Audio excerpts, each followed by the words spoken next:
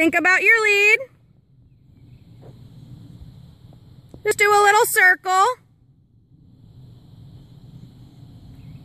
He wants to change, so just trot. There you go. And give yourself a nice big circle. Plan on going all the way out to the rail over there and then get your canter. And then ask him to canter outside leg, inside rein.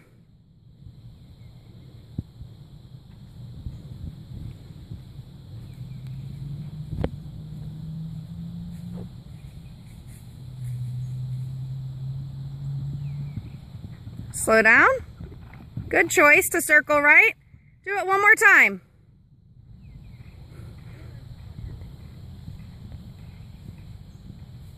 Lift your hands up and sit deep. You're leaning forward a little. Talk to him. Ooh, and circle. No big deal. A little bit on the left lead and you turned right and then he was like, ooh, you stabbed me with my spur. And trot.